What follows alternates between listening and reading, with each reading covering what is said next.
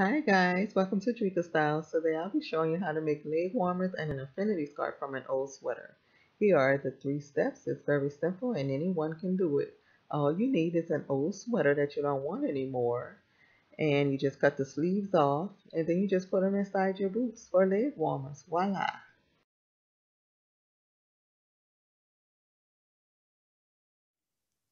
Okay guys, so here's the sweater with the sleeves cut off. And now what I'm going to do is try to make an infinity scarf. So what I'm going to do is just cut the sweater right across. You can go as high as you want. If you want a bigger, fuller scarf, or if you want a thin scarf, you can just kind of clip this part off, but nobody really wears their scarf like that. Or you can do around the waist.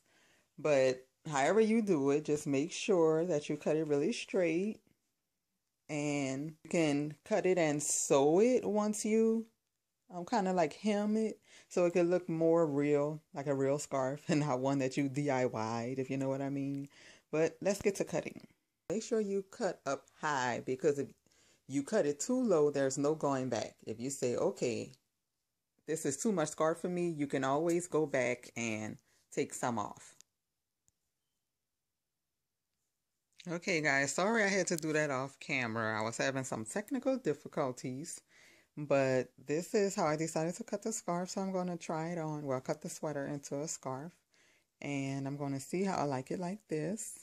And it might be best if you just go ahead and sew this. You don't need a sewing machine to just tuck that under and just sew around. And you just need needle and thread. So if you're able to do it, just try to do it as neatly as possible.